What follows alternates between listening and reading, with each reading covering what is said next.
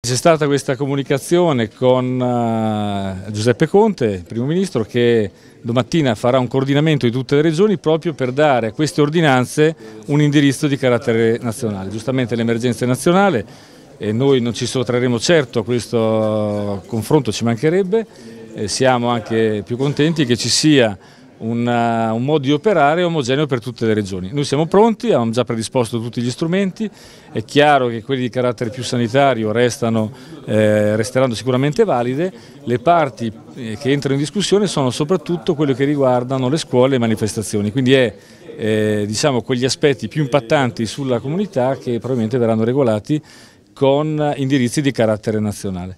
Quindi diciamo il lavoro l'abbiamo fatto, siamo pronti, domani ci sarà questo confronto, a seguito di questo confronto eh, poi emanderemo l'ordinanza. Presidente scusi, il numero verde che volevate... È pronto, eh, sarà pronto attivo da domattina, quindi da, eh, dalle 8 alle 8, dalle 8 di mattina alle 20.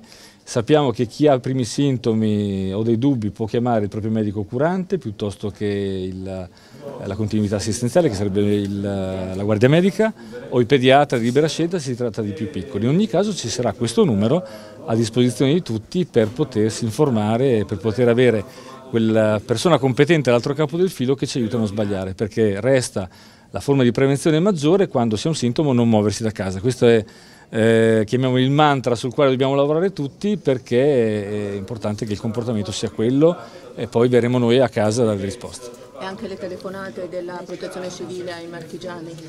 Sì, quella dopo l'ordinanza ovviamente in modo da poterne esplicitare anche i contenuti. Eh, ci sono dei marchigiani, specie più anziani, che non sono tutti social.